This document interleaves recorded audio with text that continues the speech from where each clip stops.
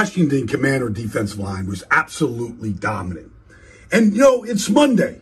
And I always liked a little Monday Night Raw. Let's watch John Ridgeway just stack the guard here. Like, that's exactly how you do it. Power step, stack the guard. Now, read the middle screen. Dameon Pierce, little spot screen. So here we go. Monday Night Raw. This is the reverse suplex right here. The reverse flying suplex. Like, you just don't see this. And I know he got flagged for it, but so what? Like, just screenshot that. If you're a Commander fan and you just won five out of six and nobody can score more than 21 points on you, and you got a backup defensive tackle named Ridgeway, just picking up Dameon Pierce and spinning him and flipping him sideways? Like, can I get a flex? Can I get a flex on that one right there, Ridgeway? Ah, boy, that's it, man. That's how this Commanders team is playing. That's what you're dealing with. It's nasty inside there. It ain't fun. It's nasty. That's the way it's got to be. It's just- I remember when we was one and four, I think right after the Tennessee loss, and I was listening to somebody. It, it, it vaguely hits my mind because when we was one and four, I was just so angry and and pissed off, and it was just a lot of things going through all of our minds at that particular time when we were one and four. I don't want to take y'all back there because it was so painful, but I'm just trying to set the video up. But one of the creators was like, yo, man, this team doesn't have any dogs. And I was like, it sure don't. He was like, man, we our dogs just let people just walk right on in the right on in the fence. And all they do is just wag their tail. And then after that, Jonathan Allen, who was really the only dog that we had, he was like, yo, keep that same energy. Then after that, the dog fest begun. Then all of a sudden, all of a sudden, Jonathan Allen wasn't alone. Daron Payne became a dog. Kamren Curl was already a dog, but he was injured the first few games of the year, so that was a dog that came back. Then Montez Sweat said, "Hold up, hold up, I'm about to join. I'm I'm a dog, and I knew you was a dog, Montez." And then Montez became a dog.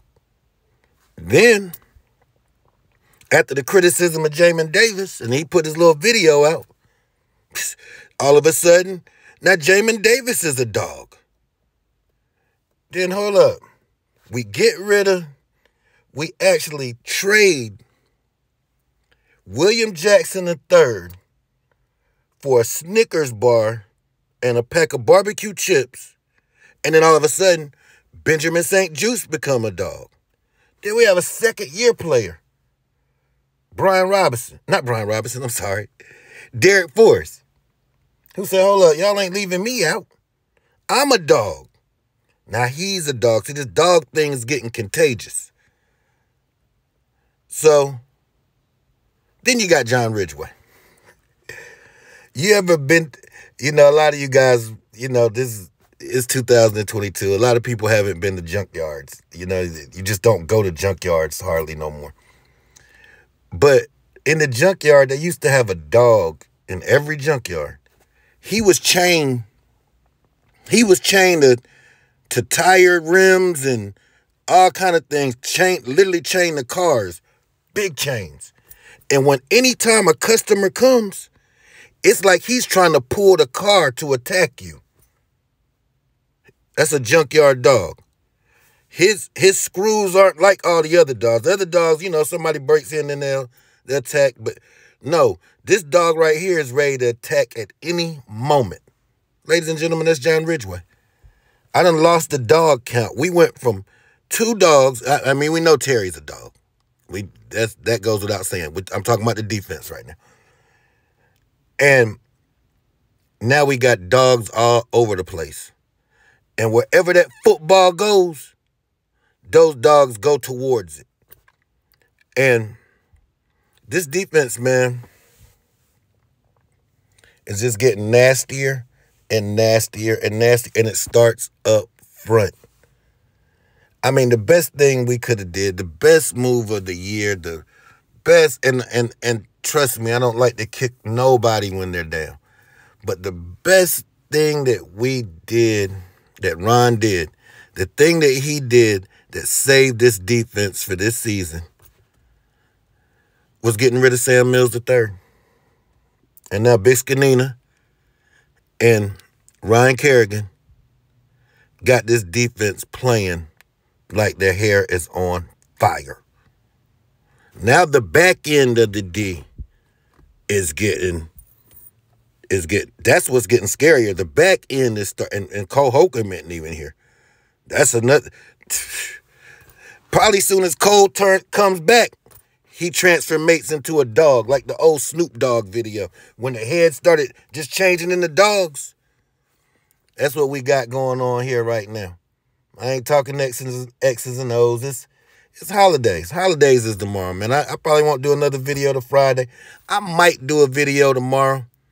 But all I can say is we was a dogless defense, and now we got dogs all over the place. They're trained to attack. They're playing in unison, and nobody's scoring more than 21 points against us. So that's going to lead me to the offense. The offense is going to have to start scoring even more. Because that Houston game, I mean, we should at least score 30 or 40 points. That's why I can't literally really I know a lot of people are thinking, yo, we about to go to the playoffs. I'm not quite there yet because I need more out of this offense. But the defense and the special teams are playing at an extremely high level. I don't I don't think a lot of people I mean, we know what's going on in Washington, but a lot of people don't know what's going on across the world. They're starting to they're starting to see like, hold up. But our defense and our special teams is playing at an extremely high level. And if the offense just steps it up just two more notches, we can be very dangerous. Let's take command.